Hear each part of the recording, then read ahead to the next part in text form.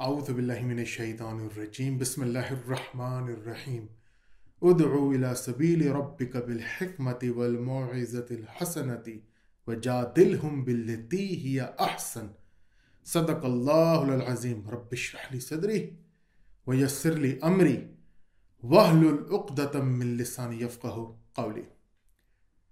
Respected viewers and listeners, Assalamu alaikum wa rahmatullahi wa barakatuh.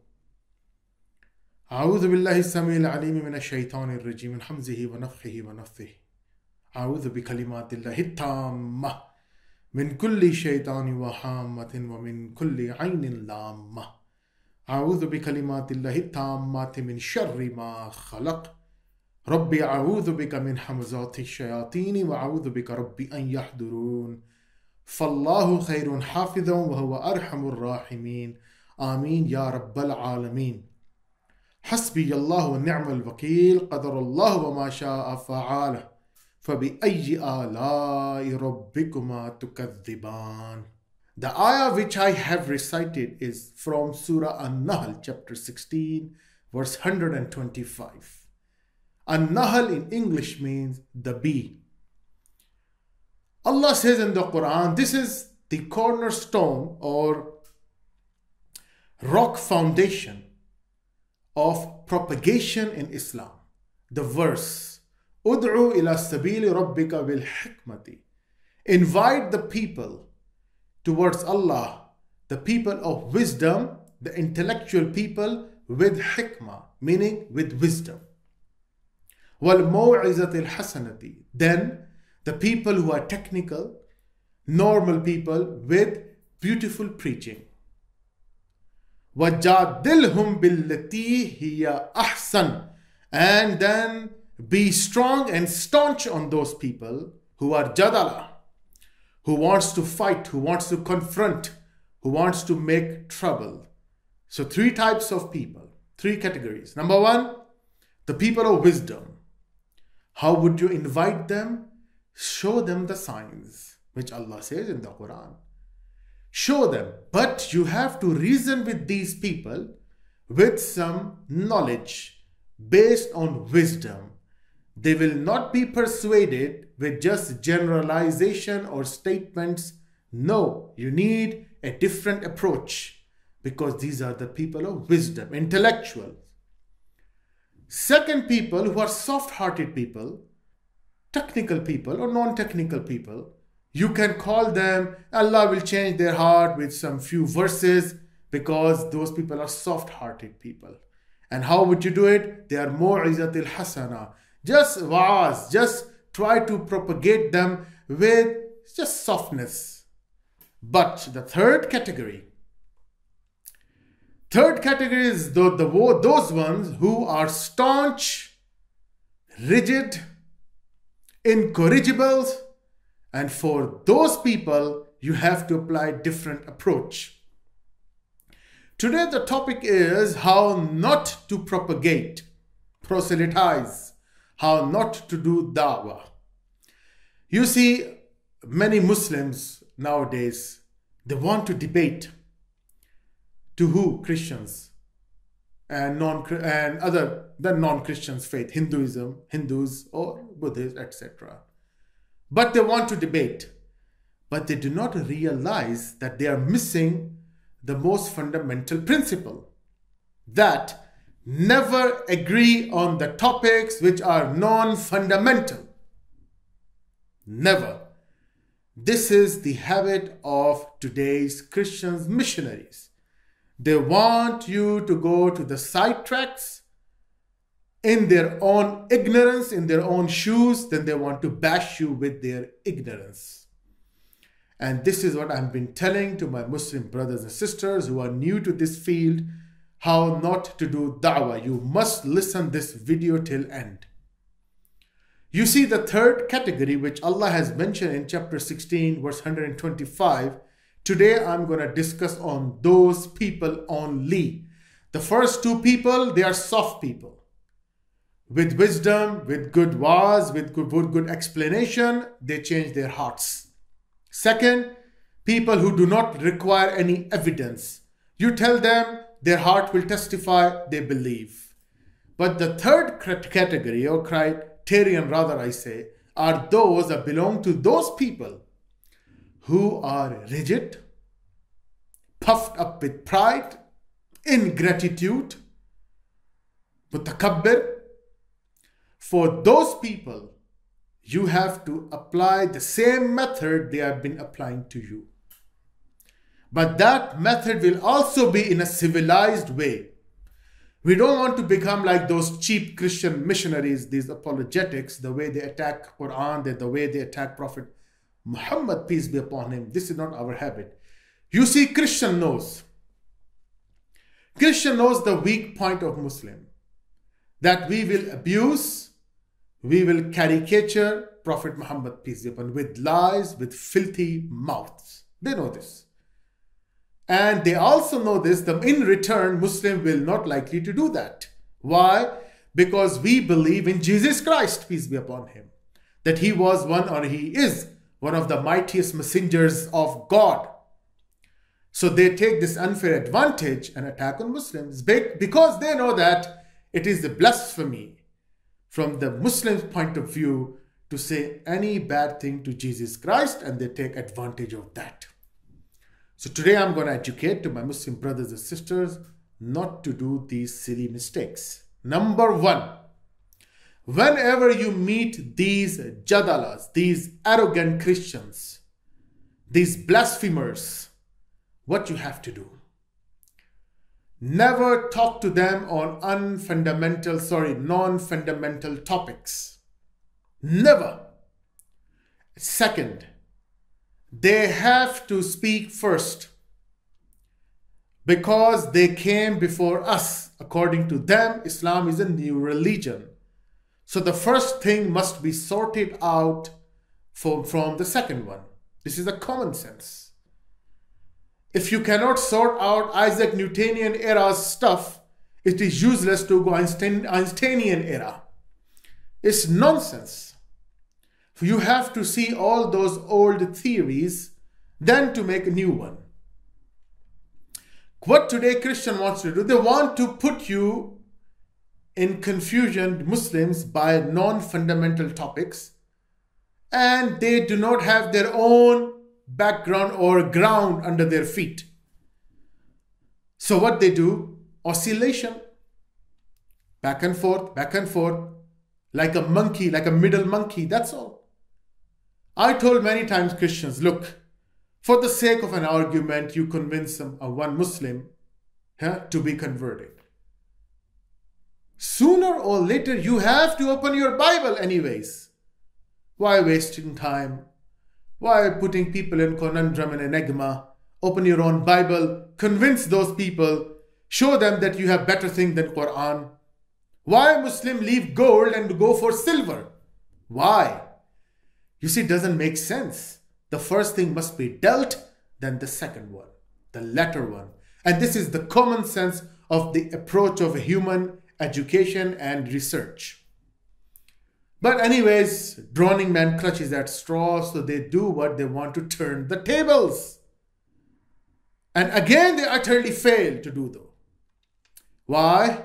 Because you see, the truth remains truth always, Seek ye the truth, it shall set you free. Jesus Christ said so. Didn't he? So, what things you have in your Bible, in the back of your mind, you know it. Your previous pastors knew it, that these things are not the Word of God. The Bible you are carrying in your hands are not the words of God. You know it. But what should you do? What would you do? Those emotions are attached ecstasy, euphoria, extrication, all things are hooked up in your souls. So you can't let it go like this. So we have to put a dent. Whenever the Christian talks or tried to be clever with the Muslim, Muslims gave him one dent in his head, his philosophy, and it just shattered down to smithereens. Why? Because you are false. You know in the back of the your pastors know the one who's minting money and taking your money and taking unfair advantage of you.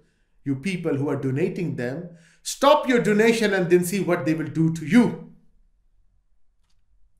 All the lies, self boasting attitude. You see, I see the people, pastors in Pakistan, they want to, they, they, they, they show to the rest of the world that we are the one who want to take Muslims. We are the one. The Western people, innocent people, they don't know Arabic. It's not their language. We are the Eastern Christians, so we are clever enough, you know, to debunk Muslims. Well, in pride and in self, you know. You see, the way sheepishly, the way in a deceitful manner they try to approach people. You watch them. You watch them, these clowns and monkeys, how they treat people. They make these you know hashtags in their programs that common questions from muslims that where did jesus claim that he is god? Here's the way we should reply them. You see they're trying to show that we are the one who can answer this. No one can answer this no one on earth can answer this jesus never claimed to be god jesus is not god and jesus never said that worship me so why should we worship him if it's the case, bring us. Don't show with your glamorous attitude of your television, the art, and the background, and become yourself artisans, and then you are the best people who can, you know, proselytize, propagate, Bible thumpers, evangelists. These all kinds of attractive things alluring people does not prove your case.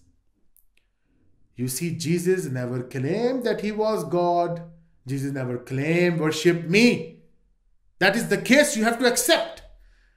You can tell us, yes, we do not have these verses, but this verse we have. But you watch these people, especially from pastors of Pakistan, neither they speak English properly, nor they speak Urdu properly, nor Arabic. By God, I'm telling you, they're raised in Pakistan, but they do not know how to speak Urdu. They do not know how to utter those you know, uh, what you call vowels, how to say the word as a vowel point, point of view. They don't know. They are very bad in diction. They are very bad in intonation. They are very bad in pronunciation. They are very bad in articulation. Watch them, these people. With the pride and but just donation, donation, donation, donation, donation. Every pastor look at his face, his eyes, all are for donation. What Jesus Christ said. Sell everything and follow me. You are not of me or does not take his cross and follow me. Jesus says, Sell everything and follow me. A poor man to enter into paradise, the same thing you put this man into the eye of a needle. This camel, sorry, camel into the eye of a needle. This is the example Jesus laid that a rich man to go into paradise. He said, Sell everything. Even the foxes have holes and the birds have nests to, you know, live. But the Son of Man has no place to put his head upon. Who said so? Jesus Christ. Sell everything, everything, everything, and follow me. The poor person is the first who's going to enter the paradise.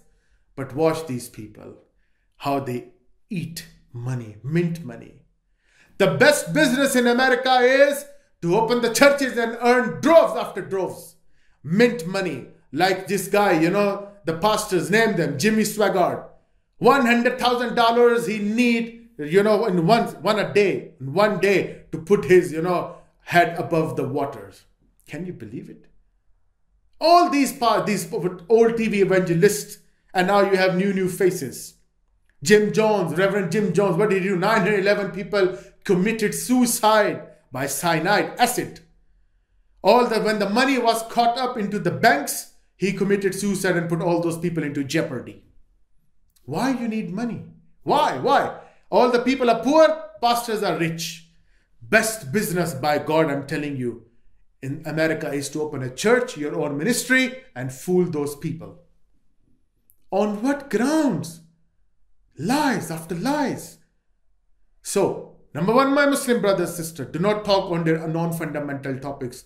Make a list and talk on these topics. Number one, is Jesus God? Number two, Trinity. Number three, crucifixion, fact or hoax. Number four, is Bible the God's word? Number five, original sin. That's it. You can add few subdivisions into these topics, no problem. Do not just leave yourself on these topics. Tell them where Jesus said, I'm God. They will never debate you. Ask them, is the Bible God's word? They will not take a chance. Ask them, there's a Trinity proof from the Bible? They will not take a chance. Original sin sources from Jesus Christ? They will not take a chance. Yes, they want to debate on Quranic Arabic. Can you believe these people? Can you believe it? Wallah Azim, you know, I, I don't know. What can I express? When I see these people, they worry about Quran's Arabic. You fools, we have unbroken sequence of Quran coming for 1400 years in the hearts of people. Hearts here, inside our hearts. What can you do? And you worry about us. You people know that how many Bibles were there and you just canonize them. You know that, that there's a difference between, you know, books between Roman Catholics and Protestants. Six, seven more differences between or each of them. 166 books, 172 or 73 books. How dare you people talk to us that what's your original Arabic? We have Arabic. We are not the slave of translation. We have the original, the Arabic which was left over by Prophet Muhammad, peace be upon him. Unbroken coming. There's no other book on the surface of the earth. You know that? Which is recited by hearts. And you people, you don't even have the common source. 5,000 manuscripts you are boasting about a New Testament in London Museum no two are identical. 20 or 10,000, five, more than 5,000 or whatever, 20,000 manuscripts you are boasting about Old Testament in the museum, no two are identical. Then how would you know that which was from God, which was not? Through churches. Churches decided that this is from God, this is not from God. Jesus never endorsed them. Did Jesus endorse all these kind of documents? No. That is why you have Matthew, you know, uh, book of Matthew according to Matthew, according to Mark. Why according? Because you know that these books are not endorsed by these particular names, assumptions. Conveniently, you take their names to show that citings. You know, in citing in English subjects, we do citing for students. They have to cite where they took this, uh, you know, article. Otherwise, they will they will be charged for plagiarism, and they do it. Can you believe it? The Bible has been plagiarized. They have been endorsed without any names. And you brought up the religion and you talk on us. Judge ye not that you not be judged. Under what judgment you are judging others? Ye hypocrites. Why see the smut in your brother's eye? First remove the beam from your own eyes, then see the sliver in your brother's eye. Hebrews chapter 7, verse number 1. A good hammer, a sledgehammer from Jesus Christ to you people worrying about other people, worrying about things, swallowing the whole camel, but worry about the gnat. What do you have? What do you have? You're Arabic, you're Arabic. You, you have your Bible in Greek. Jesus never spoke Greek. Jesus belonged to Eastern. You people got Western culture into the Bible and you laugh on Arabic of Quran.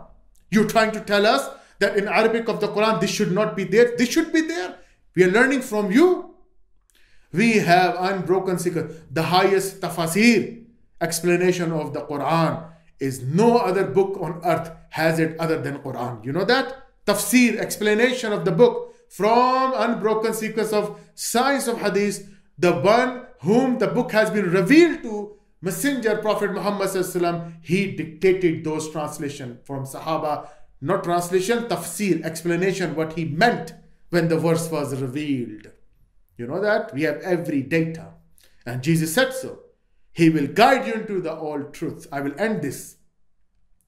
What do you have in the case?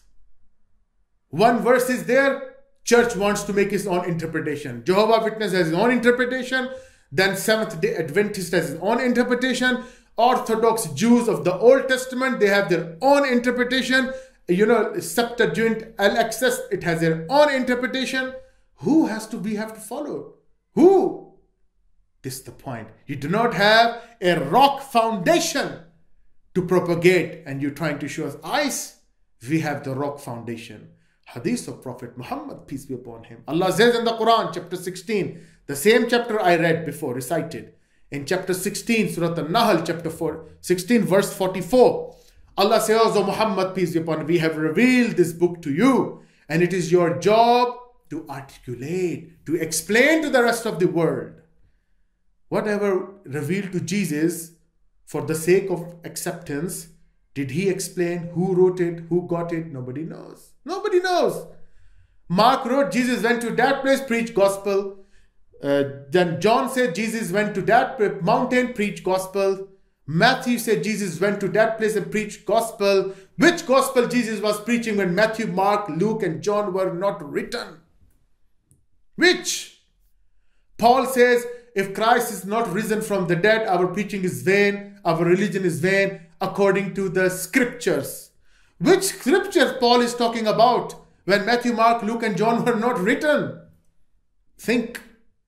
You people got all those crucifixion from New Testament and hints from the Old Testament. But what this uh, Paul is talking about, you see that? You have loopholes.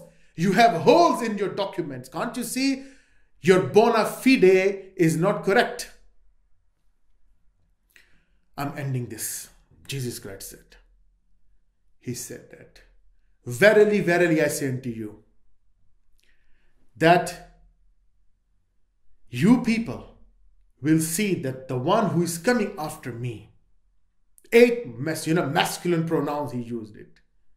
Eight. When the Spirit of truth will come, he will guide you into all truth. You cannot bear this now what message? The message of this. He's telling to disciples, you can't bear it. But listen, when He, the Spirit of truth, will come, He will guide you all into the all truth. He will guide. He shall not speak of Himself. Whatsoever He shall hear, that shall He speak.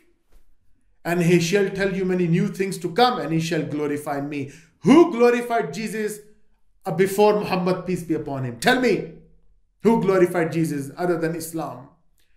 Who was the person who claimed that I listen, I speak? Hold the Quran is revealed as a schemata, is Qul, say O Muhammad. And he says, You people don't believe in dictation, in verbal dictation. You said the Holy Spirit inspired people to write, but Jesus said, Whatsoever he shall hear, that shall he speak. And he shall tell you many new things to come. What new thing? Jesus didn't give you for 2020 years, which, you know, the Holy Spirit you claimed gave you. What things, new things he gave you? Nothing.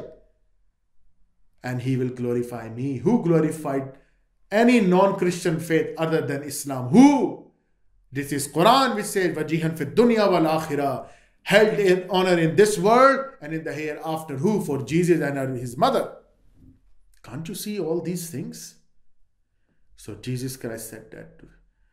Verily, verily, there are many things I have to say unto you, but you cannot bear them now. Howbeit, when He, the Spirit of truth, will come, He will guide you into the all truth. He shall not speak of Himself. Whatsoever He shall hear, that shall He speak. And He shall tell you many new things to come, and He shall glorify me. No one can fit here except Prophet Muhammad, peace be upon him. If not, come and stand and debate and stand to reason. واخر دعوانا ان الحمد لله رب العالمين